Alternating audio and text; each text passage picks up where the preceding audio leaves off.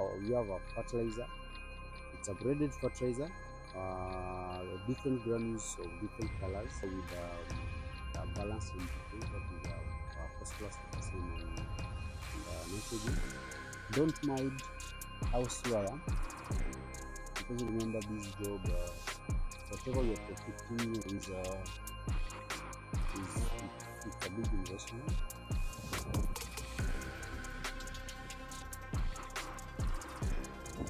Nutrition is very key to all growing stages of every plant. From the first day the seeds germinate to the last day you go to the market. When you go to the market, that's when the nutrition stops. Uh, because the, the, the seed uh, or the plant development is in need of different nutrients at different stage. At uh, seedling stage, after germination, it needs different nutrients. At development stage, it needs different nutrients. At fruit or leaf formation, different nutrients. At maturity or ripening, it needs different nutrients. Uh, so, uh, so many farmers usually get bad result or usually get it wrong uh, because they are unable to give the seedling the needed nutrient at the right time. Um, this is our continuation. Is our class that is continuing, and um, I want to show you how I do my nutrient, uh, how I apply my fertilizers because I usually do at the foliar spray. I've shared that with you uh, in our previous class, and also I also do the basal application of fertilizer. And for the basal application of fertilizer, it's very simple. You need first you cannot come uh, broadcasting the fertilizers on the nursery uh, anyhow you feel like. You need an approach to make sure that the nurseries make good use of the fertilizer and the fertilizer because the seedlings are so young doesn't burn or doesn't bring the scorching effect to the, to the seedling. So it's supposed to be very critical. It's supposed to be uh, something that uh, needs techniques and something that means a good approach because you may do the fertilizer and end up losing all your seedlings. Uh, so it's very simple. Uh, we are going to start from these um, these first lines. Uh, as you can see, um, uh, it looks somehow dry. We've not irrigated it for uh, for a day. Uh, we wanted to give it space so that we can apply the fertilizer and do the irrigation. Um, when I usually kill two birds with one stone, when applying fertilizer, it's also a, a, as, as, um, an easy step also to do the weeding. Uh, because uh, the scratching I do on the ground is, is also good for, for the crop or for the plant uh, and act as a weeding mechanism. So this is how I do it. So uh, this is how I do it, removing the weeds. So by doing this, this is making the trenches where I'm going to apply the fertilizer on both edges. You can do one side or both edges. So this, this is how I do it. And this is applicable on both the raised bed and the sunken bed.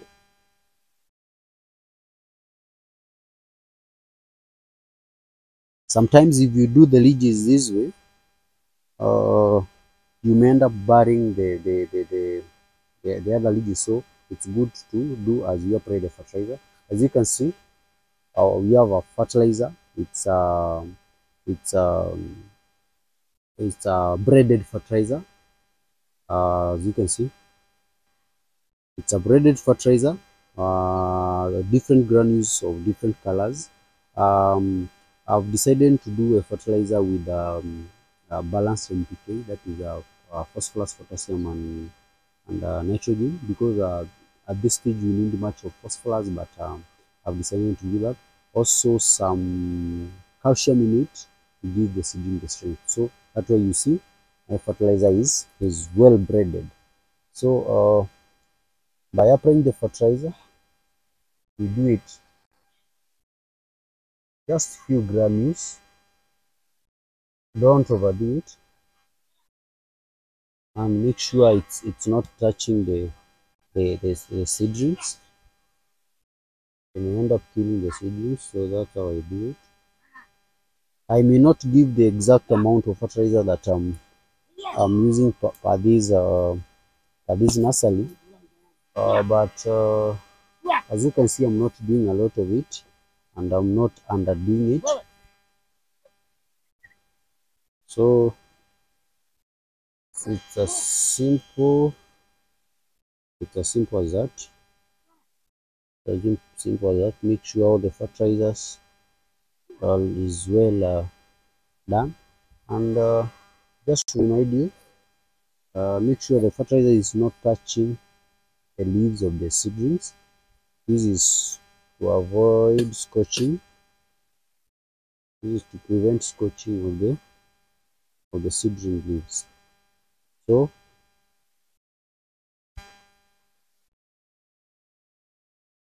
it's as simple as that. It's as simple as that. Uh, if you don't grade your fertilizer like the one that I've, I've done, you can uh, use a simple NPK uh, 2323 with high phosphorus and uh, and uh, and nitrogen because that all this young seedling is in need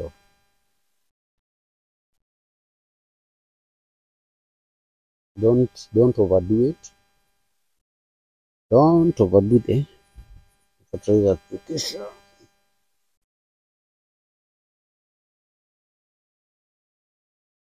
Yeah, make sure that your fertilizer is well covered.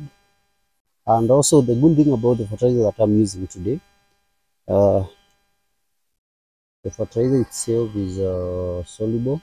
It's water soluble fertilizer. So uh, the uptake of the fertilizer on uh, by these seedlings will be very uptake will be very. So how this is how I do it. And uh, you can like, like I told you, you can uh, do it in ways. You can you can uh, uh, do it as a foliar spray, or you can also do it uh, based on this application of the fertilizer. You do the base application of the fertilizer, and it's as simple as this. As you do the video.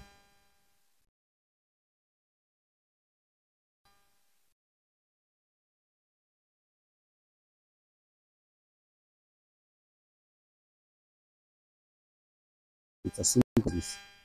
Don't mind how slow I am, because remember this job, uh, whatever you're protecting here is uh, is it's, a big investment. Yes, big investment. So uh, we need to do it with a lot of caution and with a lot of uh, with a lot of care. Because if you don't, you may end up losing all your seedlings. Also, this this was another side, another method of uh, making sure that your seedlings are you you've uh, easen the soil around the stem of the seedling, so the water uptake will be very very good. Water uptake will be very very very good and very easy for me.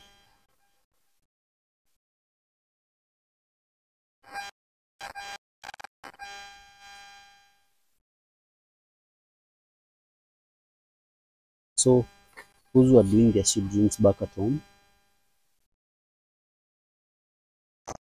then we do the application of the fertilizer. And uh, this is the continuation of our training. I've showed you how to break the seed dormancy, how to achieve this good germination. Yeah, you don't need to run and buy expensive seedlings while you can plan and uh, and do your your fertilizers and do your your seedlings sorry. And do your seedlings you can have a good plan and do your seedlings and make sure that your seedlings are renowned all, good as a as a because there is no need to fail there is no room to fail. With share all these experience and all this training class with you this is to better your farming. This is to better who is in the farming. Because somebody thinks that if it's not buying the seedlings, I'm not going to get into farming. Yes, if, if you don't have time, if you don't have professionalism, you are not ready to adopt my system, you can buy seedlings. There is no problem. It's, it's good also to, to do healthy seedlings. But this remember the uh our biggest move or our biggest secret is to, to have um, the cheapest farm produce in the market. And the more you increase your cost of production, the more you to be competitive in the market. You will reduce your profit margin. So if you do some of these things in your farm, you're going to get good profit. Hence, be a better farmer. Somebody asked me, uh, is farming profitable? And my answer is we have a day that we are not going to hit. If there is a day we stop hitting, farming will stop being profitable, or farming will not be profitable. If uh, the feeding, the AI, the AI world replaces feeding with something else, I think farming will be will be at risk. So don't ask whether farming is profitable. You look at your kitchen, look at yourself, your, your feeding routine, and get the answer there. Farmers, you want to be profitable, you need to be strategic. I'm sharing all the strategies with you make you a good farmer, make you a profitable farmer.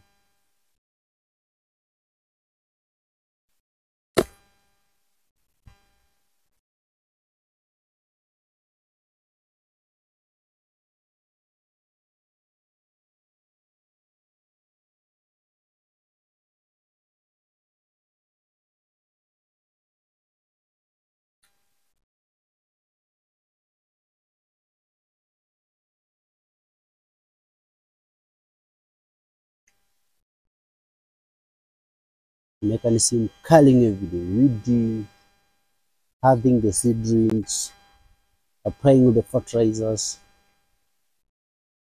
three in one, all in one.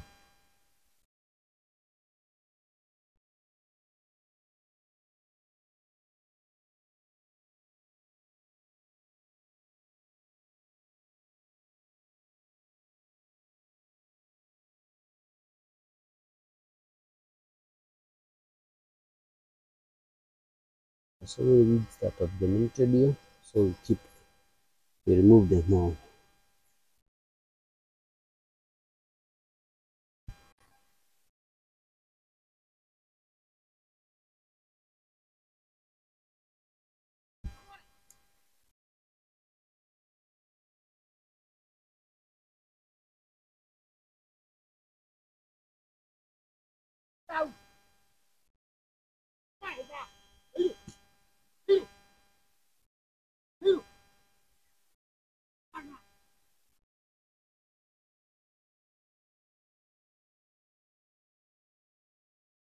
So it's applying the fertilizer is as simple as that. That's our first step. And uh, from applying the fertilizer, we go to the next step, which is uh, uh, the covering. Apply the fertilizer cover. Then after that, don't leave your fertilizer uh, or your farm unirrigated because irrigation is very key and you're going to if you leave it the way it is you may end up scorching your seedlings because you don't know which fertilizer a touched layer so you need to do the irrigation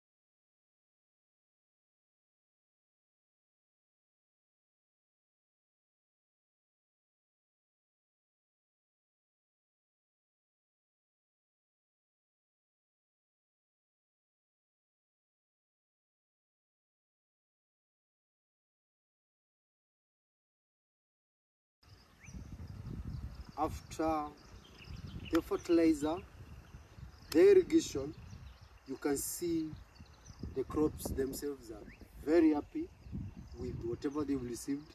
Uh, though they have not started taking the, the nutrient, I know the nutrient uptake will be maybe from tomorrow or in two days' time. Uh, we are going to continue with a schedule of irrigation like you've seen. We've changed our irrigation system. We are no longer doing the fallow. So the sunken bed is not of importance to, to us. We are using the overhead irrigation and that is what we are will be doing. Uh, precaution that you should take as a farmer uh, uh, when you're doing irrigation, observe the time that you're irrigating your seedlings. Don't do it late in the evening. Uh, it's better to do it very early in the morning so that uh, your your your your crops can enjoy the water during the day and also in the at night it will not be very wet because the wetness brings in damping off brings in fungal diseases and brings in a lot of problems uh, to the seedlings. So that's all for for our lessons fertilizer lessons application uh, for now. We look forward for more training because this this is a continuation.